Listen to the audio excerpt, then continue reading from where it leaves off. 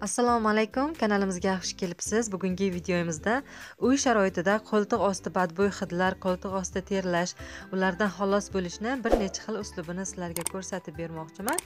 Birinchi uslubimiz bizga uch foizli perekisli vodorod kerak bo'ladi va yarim stakandan sal kamroq iliq suv va bizga yoki paxta yoki vatniy disk kerak bo'ladi.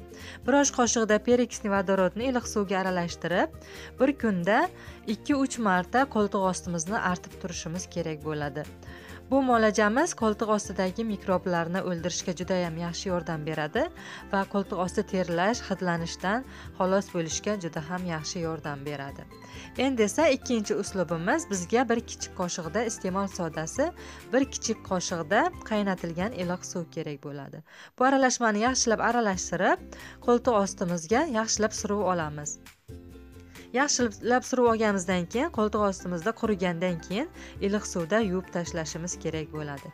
Iste'mol sodasi ham qo'ltiq ostidagi mikroblarni o'ldirishga va terlashdan badbo'y hidlardan xalos bo'lishga juda ham yaxshi yordam beradi. Uchinchi uslubimiz bizga bir osh qoshiqda semichka yog'i va bir osh qoshiqda limon suvi kerak bo'ladi.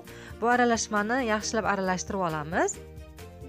Va qo'ltiq ostimizda bir kunga e, ikki uch marta e, surib turishimiz kerak bo'ladi va qurigandan keyin iliq suvda yuvib tashlaymiz bu muolajamiz ham qo'ltiq osti terlash hidlanishdan va qo'ltiq ostidagi mikroblarni o'ldirishga juda ham yaxshi yordam beradi.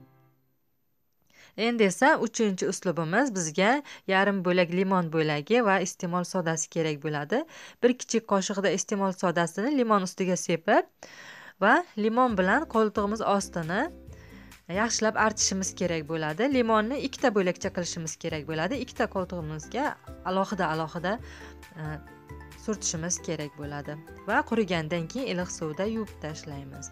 Oxirgi uslubimiz bizga ikki bo'lak limon bo'lakchasi kerak bo'ladi. Ikki bo'lak limon bo'lakchasini qo'ltig'imiz ostida uch to'rt daqiqa ushlab turamiz. Undan keyin qo'ltiq ostini iliq suvda yuvib tashlasak ham bo'ladi.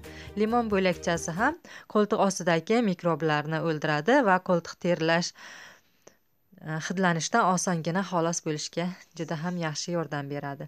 O'ylaymanki bu qisqacha videomiz sizlarga foydali bo'ladi. Videomiz yoqqan bo'lsa kanalimizga obuna bo'ling. Kommentariyada o'z fikrlaringizni yozib qoldiring. Videolarimiz ko'proq insonlar ko'rishi uchun hammaga foydamiz tegishi uchun do'stlaringiz bilan ulashing. Keyingi videoda ko'rishguncha hammaga xayr sog' salomat bo'linglar.